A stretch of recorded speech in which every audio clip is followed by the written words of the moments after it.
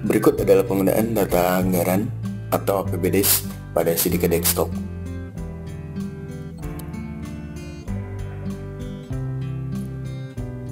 Klik APBDes. Selanjutnya, buat APBDes baru. Masukkan tahun anggaran.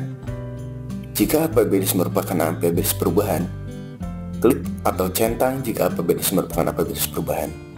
Lalu, klik mulai buat APBDes. Berikut adalah tampilan default APBDes. Untuk menambahkan baris atau rincian APBDes, klik tambah. Lalu, masukkan kode rekening.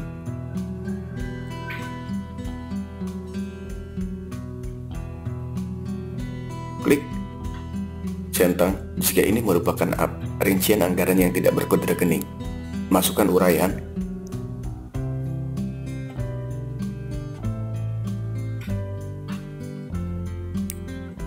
masukkan jumlah.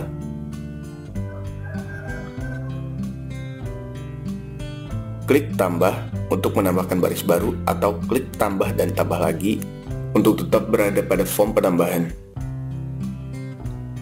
Double klik kolom anggaran pada rekening induk untuk memunculkan jumlah anggaran yang telah dijumlahkan dari subkode rekening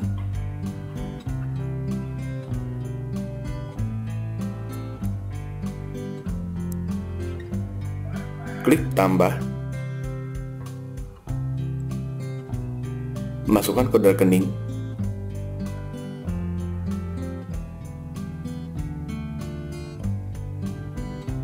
Masukkan uraian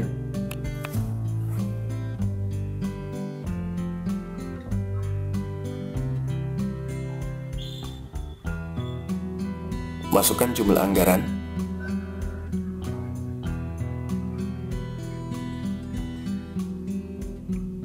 lalu klik tambah atau tambah dan tambah lagi.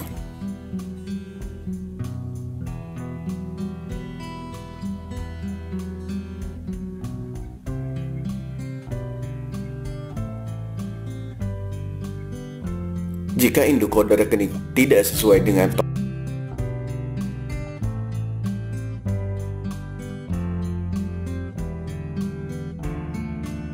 tombol delete pada keyboard untuk mengembalikan nilai. Jika terdapat kode rekening yang sama, maka hasilnya akan merah.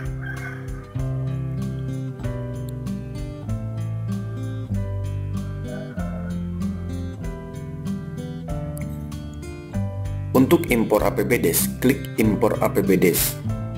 Lalu pilih APBDes dan klik open. Lalu akan muncul form pencocokan header seperti saat impor data penduduk.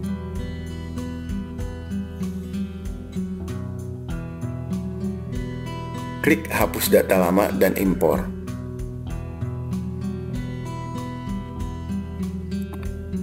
Berikut adalah jika total anggaran tidak sesuai atau tidak sama dengan jumlah dari setiap kode subkode rekening, maka hasilnya akan berwarna merah.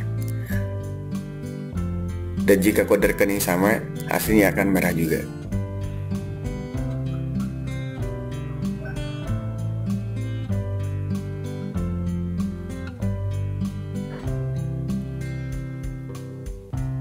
Berikut adalah contoh APBDes yang akan diimpor.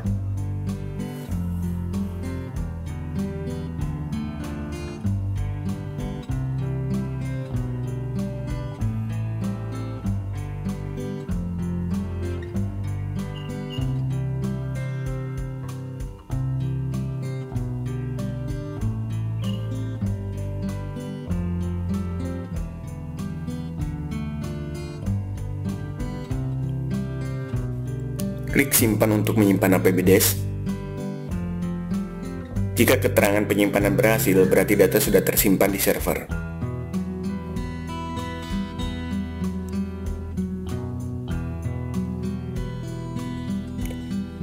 Untuk mengekspor atau menjadikan Excel kembali, klik ekspor, lalu masukkan nama APBDes, lalu klik save untuk menyimpan.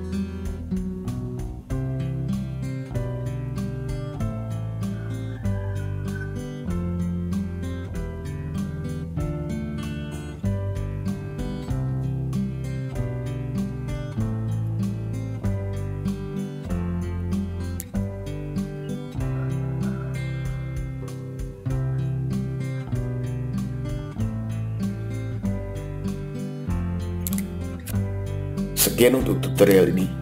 Terima kasih.